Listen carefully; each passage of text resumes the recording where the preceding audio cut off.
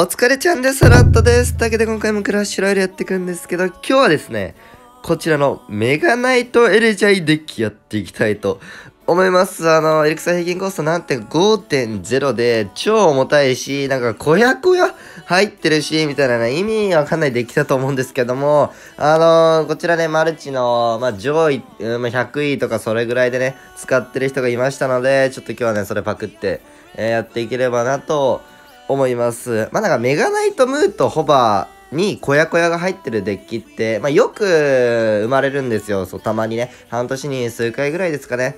まあ一番最初は、あの、クラロワのね、え2017年、2018年から。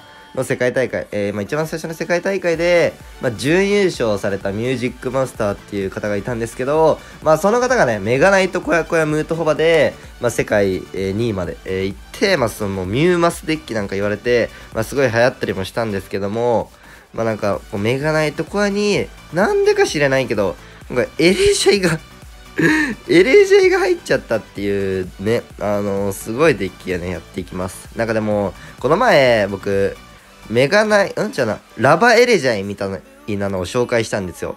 そう。で、なんか意外と強くて、みたいな。で、今回は、あ、これマジ打ちで射抜き、射抜きたい人ですね。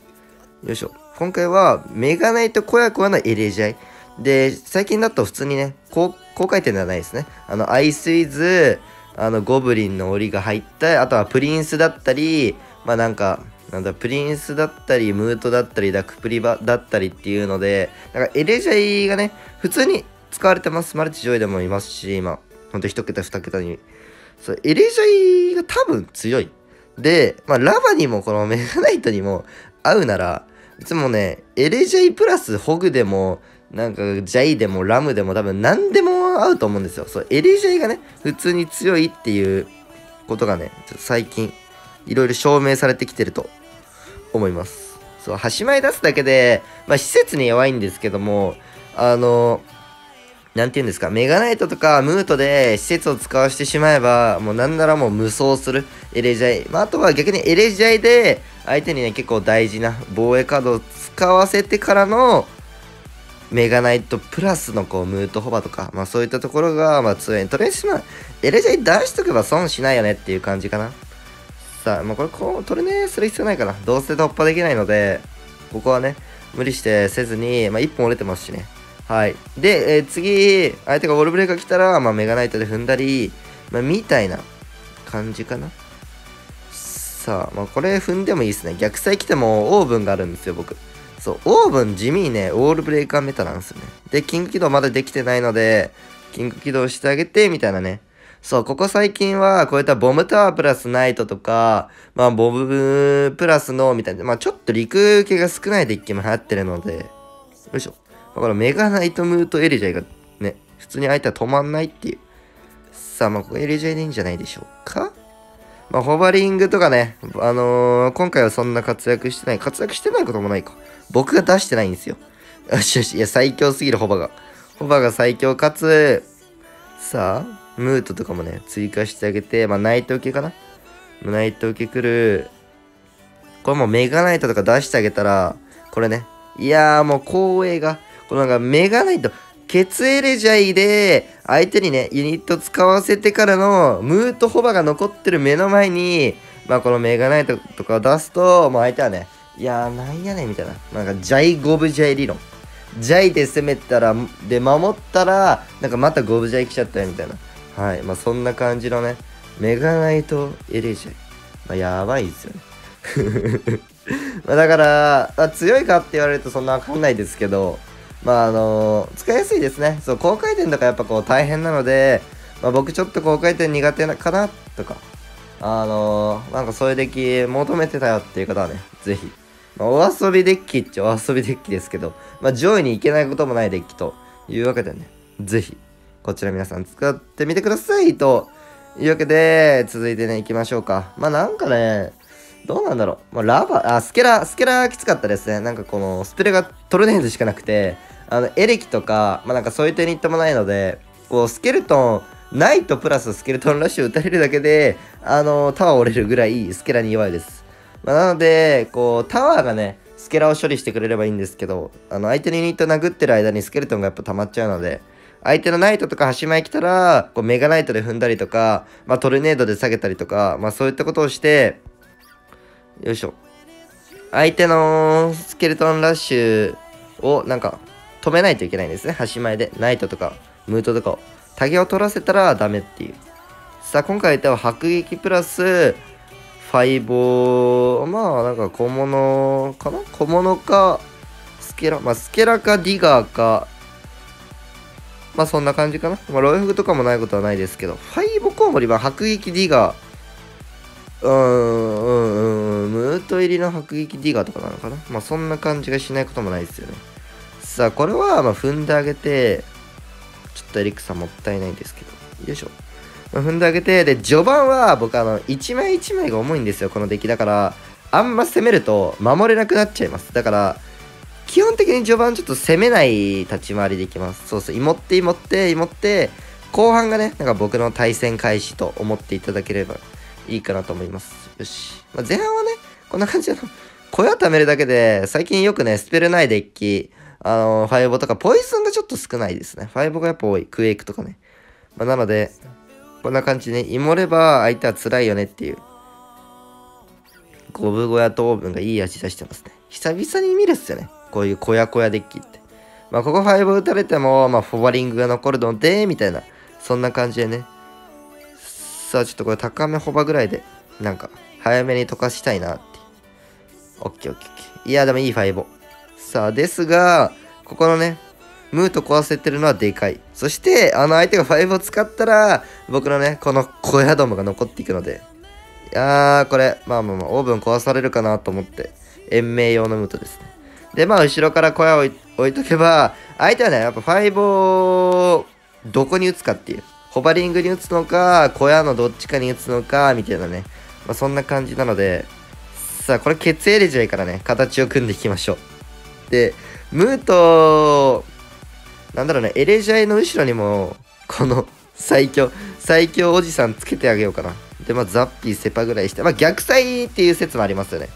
そう、逆サイの方がいいかな。同サイだと、あの、迫撃の範囲で、いろいろ巻き込まれそうなので、さあ、こんな感じで、もう、両サイからの真ん中ホバ。うわちょっとやだな。ちょっとやだな。そのガゴムレはね、バカきついね、俺。これちょっと、ガゴムレ、カウンターちょっとめんどいしね。まあまあまあ、いや、ガゴムレが予想外でしたね。まあ、ガゴムレ予想外なんですけど、オッケーオッケーオッケーオッケーオッケー。なんか知らんけど、苦しそう。いや、やだな、こんなデッキ。僕、こういうデッキよく使うんですけど、使われるとマジで嫌なんですよね。なんか、困りません？わかんなくなっちゃいますよね。どうやって攻めたらいいのか。いや、いっぱい来るやんっていう。さあ、ガゴムレが来る。まあ、ですが、これは多分ね、次の生まれてくるファイスピで、なんかいい感じになってくれると思うんですよ。で、ムートは、相手、もうムートに5打ったらもうホバーとか無双できるんで。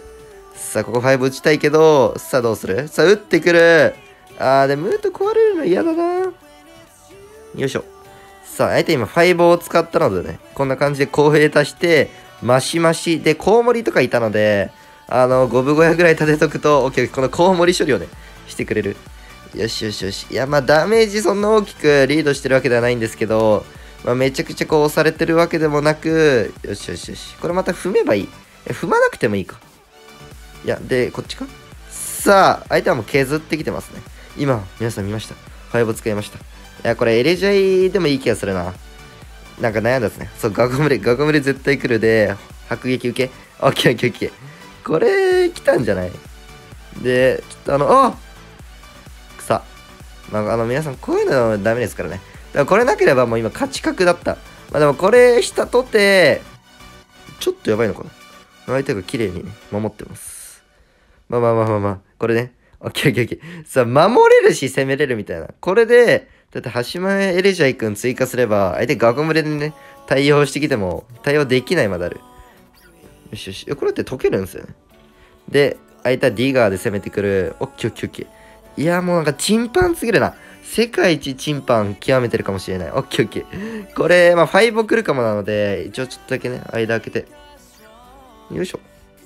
ほい。いやー、いい5ですが、エレジャイが届いてグッドゲーム。いや、マジで、何これみたいな。何これデッキね、たまに出るんすけど、使うとバカおもろいっすよ。ね、だって、まあ、なんだろうな。まあ、わかんねえけど。エレジャイ、ケツエレ、こやこや起きます。ケツエレジャイします。で、逆サイ来たのを、まあ、ムートで受けてカウンターとか、まあ、メガナイトでっていう、まあ、コストも結構ギリギリな中でね、あの、戦わないといけないから、まあ、序盤やっぱそんなに動きたくないね。もう序盤は、こう、エレジャイ出しても後衛に何もつけないぐらいの感覚でいきたいですね。さあ、初手ディガゴブディガゴブまで来るの珍しいな。まあ、ディガーウォールブレイカーのゴブリンだと、まあ、アイスウィズバルキリームートっていうデッキが、ムートじゃないな、アイスウィズバルキリー、そうですね、ボムタワーのロケット、トルネロケットで、スペルがそんだけかな、のデッキがありますね。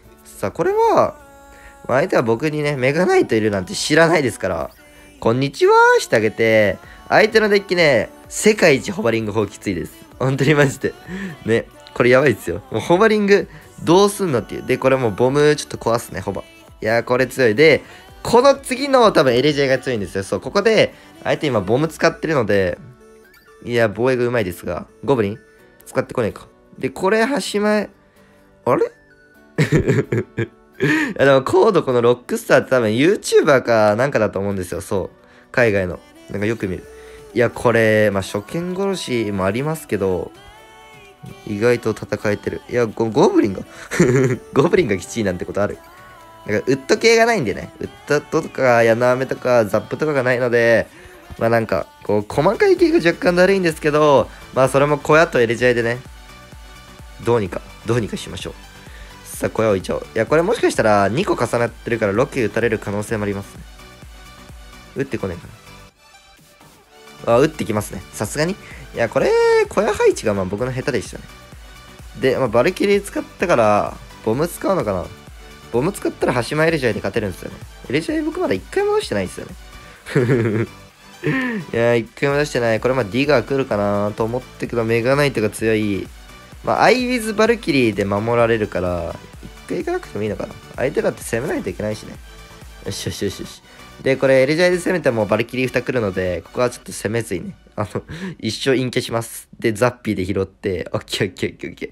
これ勝ち確。いや、もう負けないっすよね、こんなん。で、ケツエレジアイぐらいやっちゃって。いや、お前そんなカードいたんかって。さあ、これはね、相手ももうロケ打って削らざるを、え、ん？みたいなね。なんかよく言いますよね。さあ、からの、からのっすよ。どうしようかな。いや、僕あの、メガナイトで攻めてもいいんですけど、攻める必要もなくて、みたいな。オッケーオッケー。これだって防衛ロケ絶対使わないと守れなくない相手。いや、絶対防衛ロケ。いや、してこないと、これって終わるっすよ。ここで、ね、あの、ジャイロイジャイ理論。2周目が来るっていう。で、なんなら3周目のエレジャイが来る。いや、間に合わねえか。まあまあまあまあまあまあ、みたいな。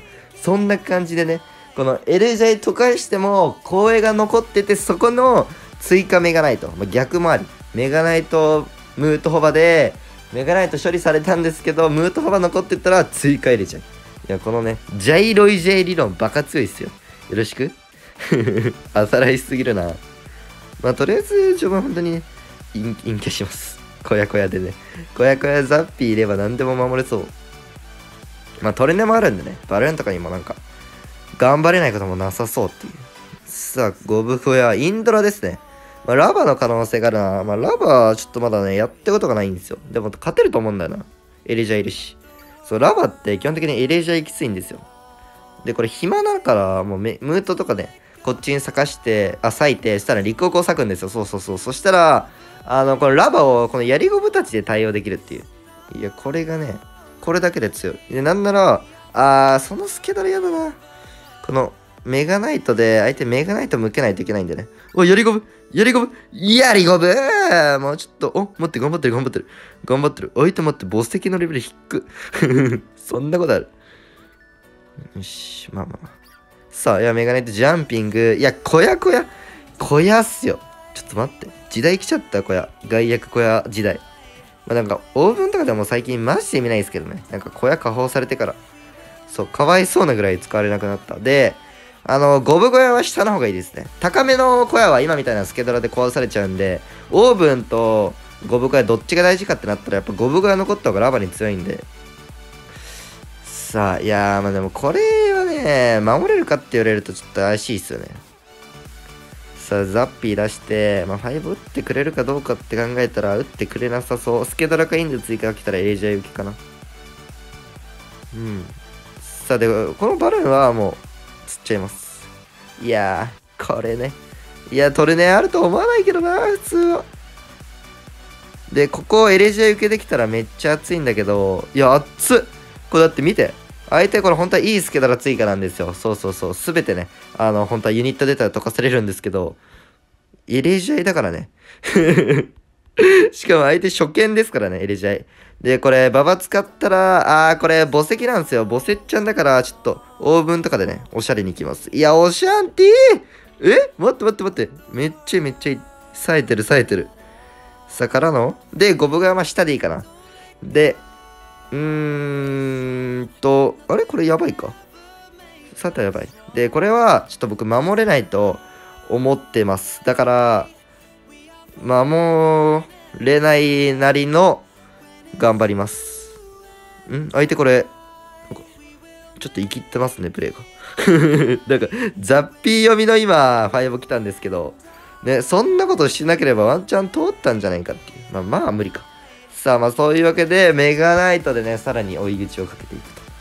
いやー、バブル勝てるなら、ね、何でもいけちゃいますよっていう。